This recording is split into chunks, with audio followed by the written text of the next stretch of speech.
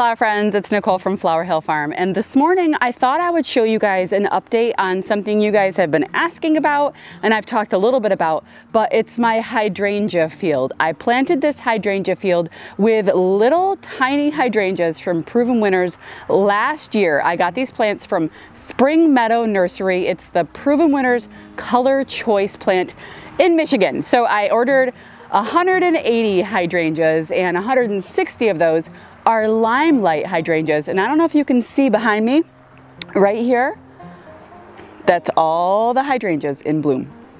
As we get closer, you can see the brightness of the limelights um, even better. These are my peonies, guys, some of them, one, two, three, four. I have seven more rows of peonies over there. I have, I believe, 565 peonies, and I did order more uh, to plant this fall to fill in the gaps here so I don't have to do any mowing. We'll see how that works out. So the hydrangeas, this was an inspiration from Sunflower Steve. Actually, it was one of the first pictures that Sunflower Steve sent me two years ago. He sent me a picture of his hydrangea field.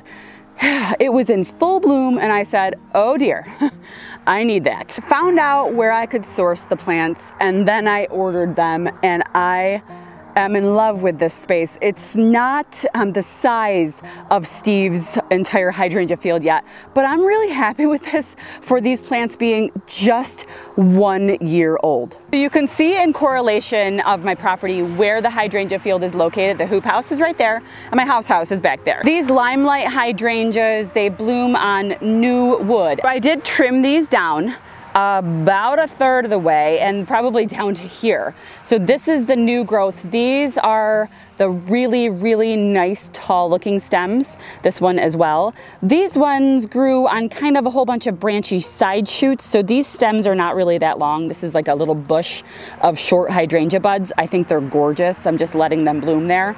But the usable, sellable, uh, floral work, like the weddings and stuff like that, this will come on these giant stems. And Steve, he's a wholesaler, so he sells these by the truckload for weddings and big special events. And I think that there's so much that you can do with the hydrangeas, especially because these limelights, they turn a beautiful pink color and they dry so well so many different ideas for these hydrangeas.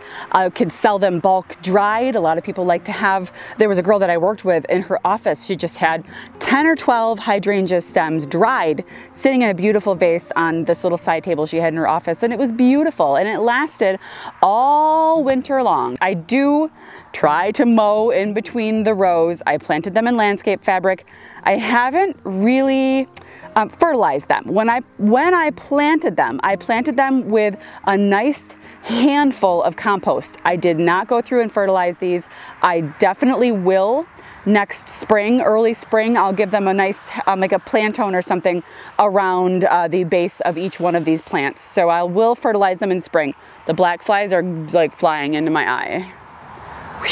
My push mower fits in between these rows. I haven't done that in a couple of weeks and you can tell that it's kind of getting um, tall weeds, but I will push mow that again before the end of the season, obviously. And um, this is only half of them. The other half is over here and they're even a worse weedy mess. There's this nice pathway. So here, there's the other half. The weeds are um, tall because they're, um, there's a lot of rocks I gotta take out, so I haven't been able to push mow in between that. So yeah, not exactly the cleanest hydrangea patch, but this one looks nice.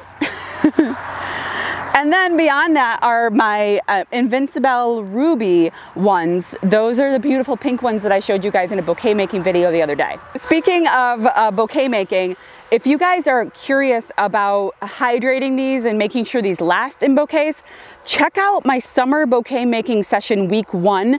In the comments, dozens of professionals like florists and designers they are dropping a lot of tips on how to care for the cut hydrangeas because these are new to me so I don't feel comfortable giving you guys professional advice on how to hydrate but boy, did the comment section have some jewels, nuggets of gold for information on how to hydrate hydrangeas. So if you guys are curious about that, check out the comment section. There's a lot of knowledge was dropped in the comment section. I wanted to give you guys just a quick update on the hydrangeas. A lot of you guys were asking a couple of other um, perennial updates my loose neck goose strife. Wait, nope.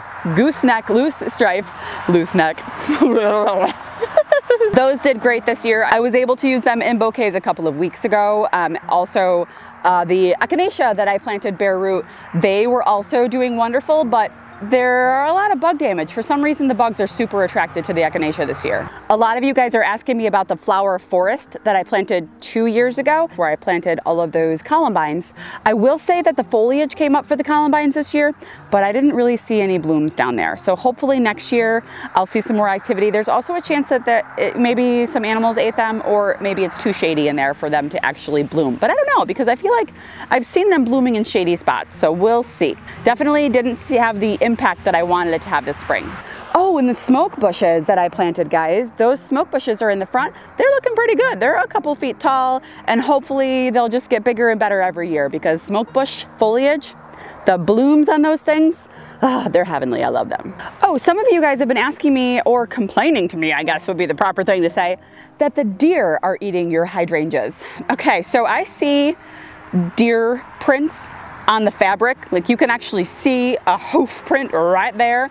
Um, they don't appear to be eating anything. I haven't noticed any damage.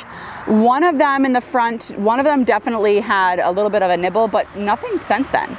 I am going to do some experiments with what works best for me with hydration, but I'm gonna let the majority of these dry this year and sell them this fall as decorative plants for, for people at the nursery. And that's an update on my hydrangea field. I know a lot of you guys have been asking about it and more updates to come. For now, I'm gonna head to the nursery and do some cleaning. Thanks for sticking around. We'll see you soon. My mom is sending me like wood stain colors and stuff like that for the nursery. She wants to get painting in there, staining.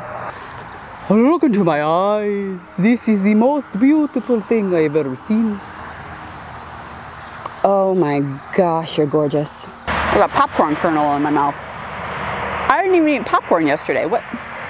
This is like a two-day-old popcorn kernel. Well, welcome to the party.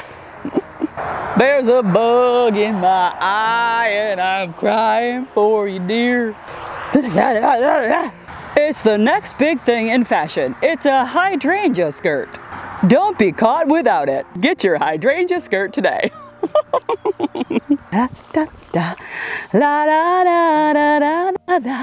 For every two there is a fro. For every stop there is a go. And that's what makes the world go round. Dear print.